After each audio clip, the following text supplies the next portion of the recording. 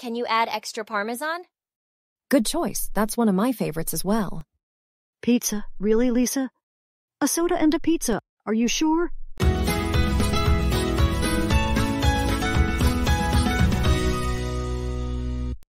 Hello everyone, it's Jack here.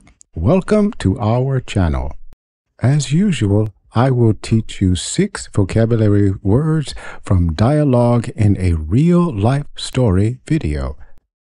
Today's real life story is about a tense lunch between a mother and her daughter. Before we watch the video, let's take a look at the words. The first word is every once in a while. Next are I bet or I'll bet. To tend to do something, to throw a fit, throw a tantrum, and to hold someone accountable for something. The final word is to be wise. Okay, let's watch the video. Hi, Lisa. Hi, Mom. I'm so happy to see you. Traffic was a nightmare, even the parking. You know, I'm used to only going to places that have valet. Oh, Mom, I'm so sorry about that. I know the parking can be a little bit tricky sometimes, but I love this restaurant. And I think you'll like it too. Hello, ladies. Welcome. And I hope you've found the menus on your phones. Can I get you started with something to drink? Water for me, please. No lemon. And I'll have a Coke, please. Just so you know, I did not teach her to drink sugary sodas like that. They are unhealthy, and I don't think anyone should drink them. Okay, so water and a Coke coming right up. Gosh, Mom, do you always have to do that to me? It's so embarrassing. I do enjoy soda once in a while. You shouldn't drink that junk. It's full of sugar. Doesn't help our waistlines either. As you get older, you need to stay trim like me. Okay, Mom, can we talk about something else, please? I highly recommend the pizza here. It's delicious. There's nothing healthy, not a vegetable in sight. Do you come here often? Sometimes. I like to bring my friends here. Speaking of friends, do you remember my friend Stacy from high school? Yeah. Well, guess what? What? She's getting married. Isn't that exciting? That is exciting for Stacy. Yeah, I know. You know, she was always so pretty and she always would keep herself in shape.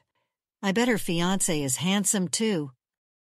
Well, yes, they're both really attractive. And honestly, they're great friends and lovely people, and I think that's the most important thing. I tend to disagree. Looks are very important, and as a woman, we need to keep looking good to make our husbands happy. Let's just order, okay? Here you are. Are you ready to order? I will have the cheese pizza, please, and can you add extra parmesan? Good choice. That's one of my favorites as well. Pizza? Really, Lisa? A soda and a pizza. Are you sure? Your jeans have been fitting a little tight these days. I think you should just order the salad.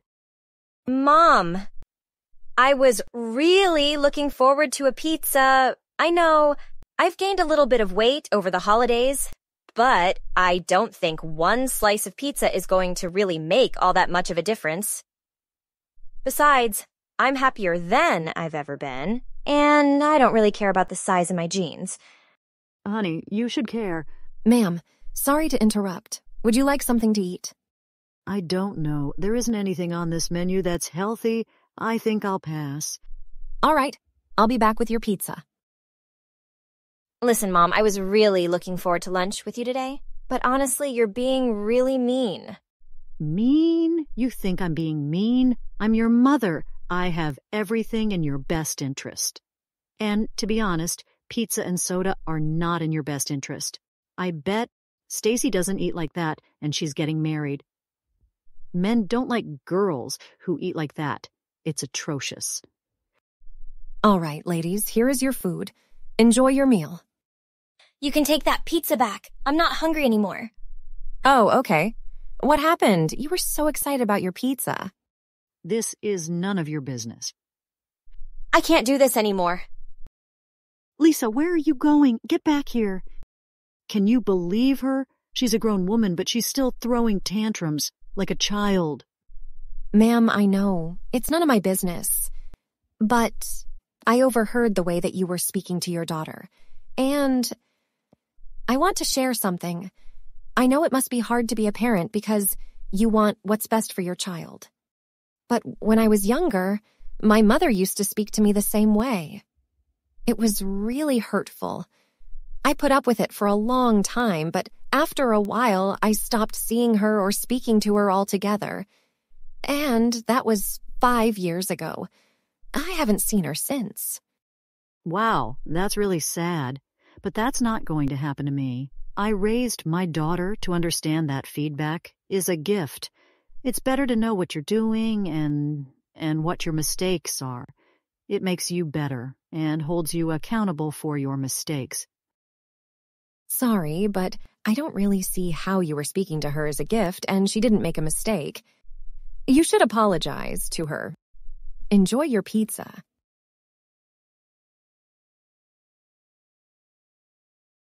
You know, Mom, I'm not a little girl anymore, and I can take care of myself. And if you can't control the way you speak to me, then I don't think it's wise for us to see each other anymore. I'll pay for the meal. Goodbye, Mom. Lisa, Lisa, wait. Why? Why should I wait? Are you going to suggest a gym for me to go to? No, honey, I, I just want to say I'm sorry. I know that I've been far too hard on you over the years. You don't deserve that. It's just that my mother raised me that way. And she used to criticize me all the time, and I hated her for it. And for some reason, I do the same thing to you. I am so sorry. Can you give me another chance? I will always love you, no matter what you do or how you look. It's okay, Mom. I know the tit you want, what's best for me, and that you mean well. But I'm not a little girl anymore, like I said.